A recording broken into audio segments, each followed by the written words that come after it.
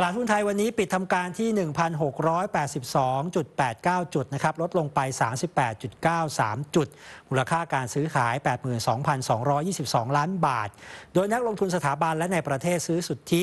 ส่วนนักลงทุนต่างชาติขายมากกว่า 10,000 ล้านบาท หุ้นไทยเคลื่อนไหวในแดนลบตลอดทั้งวันนะครับ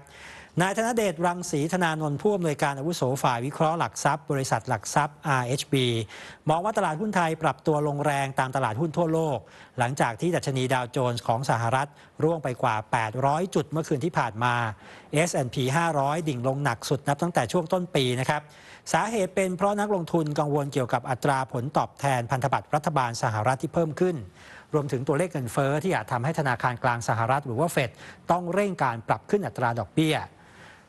เมื่อเทียบกับหุ้นในเอเชียนะครับหุ้นไทยก็ถือว่าปรับตัวลงน้อยนะครับ เนื่องจากเมื่อวานดัชนีปรับตัวขึ้นไปกว่า 20 จุด ส่วนหนึ่งเพราะว่าได้รับปัจจัยหนุนที่กำลังจะมีการเลือกตั้งทำให้ตลาดหุ้นไทย นั้นลดลงไปน้อยกว่าตลาดในเพื่อนบ้านในช่วงที่ผ่านมา ส่วนตลาดหุ้นโตเกียววันนี้ครับปิดไปร่วงลงไปเกือบร้อยละ 4 ร่วงลงต่ำสุดตั้งแต่เดือนมีนาคมที่ผ่านมา เซี่ยงไฮ้คอมโพสิตตลาดหุ้นจีนก็ปิดร่วงลง 142.38 จุด หรือว่าร้อยละ 5.22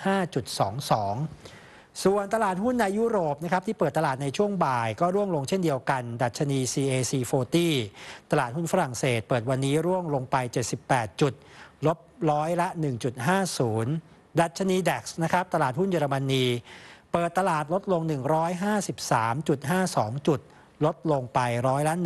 1.31 ครับ